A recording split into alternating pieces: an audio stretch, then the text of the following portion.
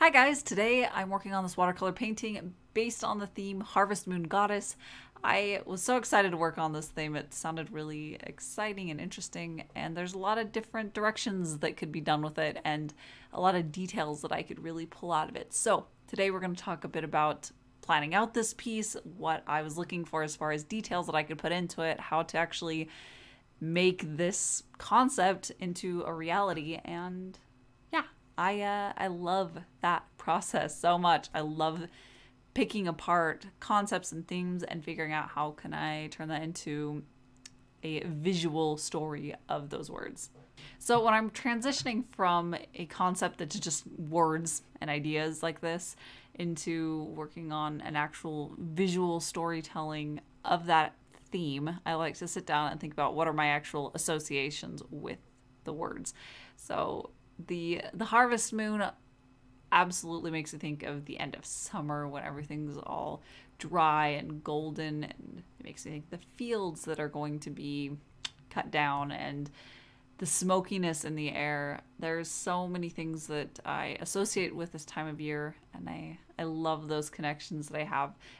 I was especially excited about working around a summery end of summer theme for a nighttime setting and a nighttime scene because that's really the time that I like the most about summer. I don't really like the day as much, but I love summer nights.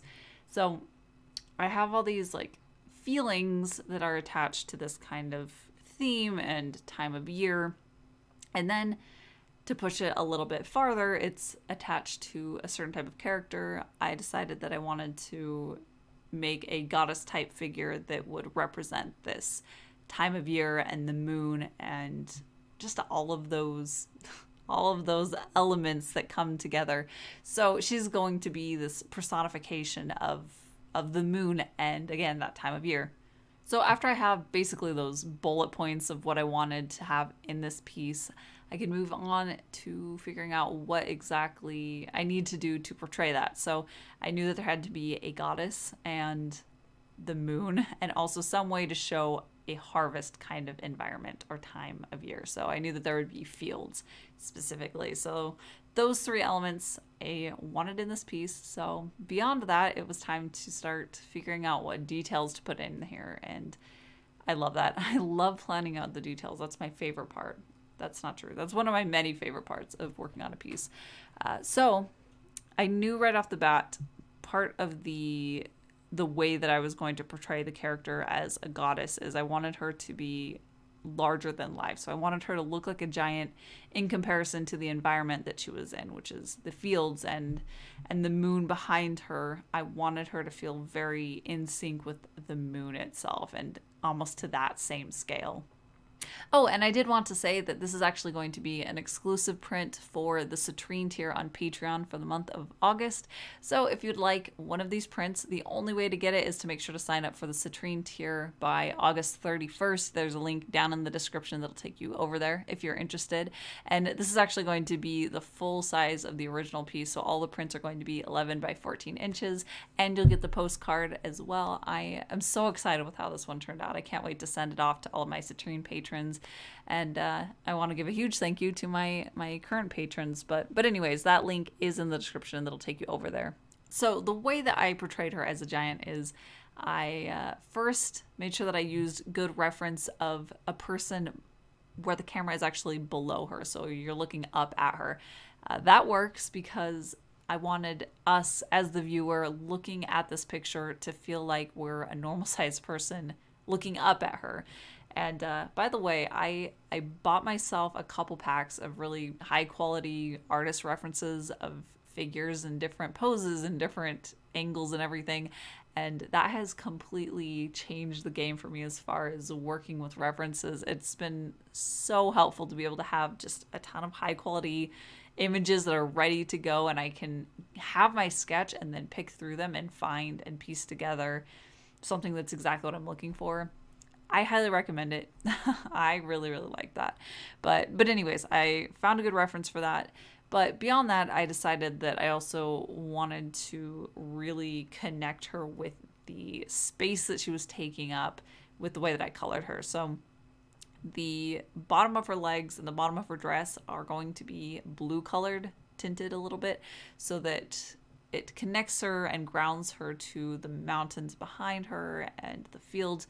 And then as it rises up, as the character rises up, she gets closer to the moon coloring for the most part, as far as how I portrayed her dress. And I think that that helps it. I think it helps her feel a little bit more one with the the fields and the mountains below, which I think helps her look a little bit more like she's within the same scope, the same scale as the environment that she's in, rather than being this normal sized small person on a field. I I think that it makes her feel a little bit more like she's a peer with with the environment, with the space. And of course that also ties a little bit into atmospheric perspective, whereas things get farther away, they get a little bit bluer. I chose to be specific with it, with just having it tinged the bottom of her character, and then it fades off to make her look more warm, like the color of the moon itself. And then I knew right off the bat, my association with Harvest Moon is that I wanted it to be a golden moon, so it was going to be this golden yellow color, which was really helpful because that was kind of like a cornerstone for the rest of the color palette and how I chose everything else. And uh, yeah, how I built up all of the colors and the values around it. I chose to give her really dark hair so that it would stand off from the moon right behind her, but then I also wanted her dress to mimic the color of the moon just a bit as it fades up and becomes lighter and brighter and eventually white. And I chose to give her a scythe for harvesting purposes because if she's a goddess of the harvest moon, I figure she'd probably have a scythe. It seemed pretty fitting. I don't know actually if this smaller handheld type of scythe has a different name than than the like two-handed one that's at the end of the stick, like what a Grim Reaper traditionally has. But but I decided to give the scythe a Damascus steel texture, which is I I think so beautiful. So that was really fun to get in with all the texturing and marbling that happens in the metal like that.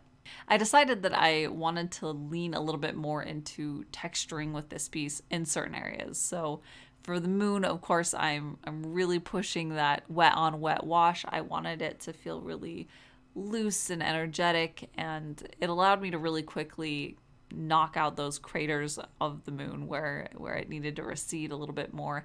And uh, i loved that. I loved that process so much.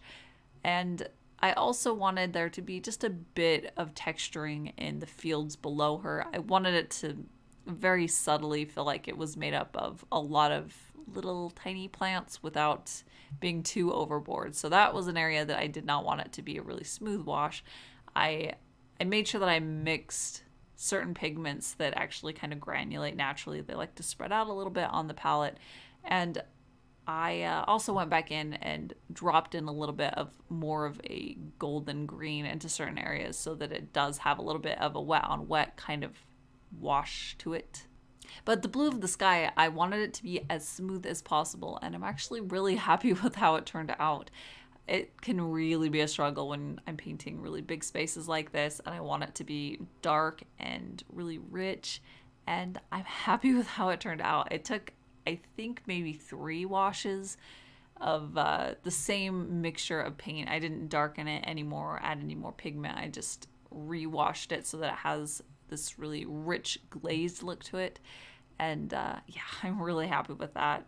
And the big benefit to doing multiple glazes to reach that final result is that it actually helps camouflage some variations in the wash where it might not be as smooth as possible. If you go back over it with that same wash, it can oftentimes, depending on the pigments that you're using, smooth it out so that it becomes a much smoother wash. I definitely recommend putting that into your plan so that you don't end up with an area that's much darker than you intended originally. So so if your plan was to go several shades darker and you start off lighter and it, it actually gives you the room to be able to build up that wash rather than putting it down at the first shot and it's the value that you need but it's not quite smooth enough. So as always, I like to make some pretty specific plans for where I want the highest contrast to be between the darks and the lights and where I want the brightest colors to be that highest pop of saturation so that I can really guide the eye where I want it to be, where I can tell the viewer, even subconsciously, what's the most important element of the piece. So the most saturated element is the moon behind the character. And then the highest level of contrast is in the character herself with the dark hair and her white dress, like right in front of the moon. So that helps it all tie together and draw the eye into that center area so that hopefully it uh, it all just revolves around her face and really just sticks that as the most important element. And I almost never pull out my gold paints anymore, but this one seemed particularly fitting, so I pulled out some really shiny metallic paint and I used it to add some little details, some jewelry on the character, and just a little bit of uh, glistening details here and there throughout the piece. And don't forget, the print of this piece is exclusive to my Citrine patrons for the month of August. So make sure that you're signed up by August 31st if you'd like an exclusive print of this piece. There's a link down in the description that'll take you over there. And of course, I have the original painting available at my shop. There's again that link in the description that'll take you to my shop. And as always, I want to give a huge thank you to all of my patrons over on Patreon. You guys are amazing. I can't thank you enough for all of the support that you show me. I am just so incredibly grateful to to all of you guys. Thank you so much for that. And uh, that's it for today. So I will be back with some more painting next time. Thank you so much for watching, and I'll see you then.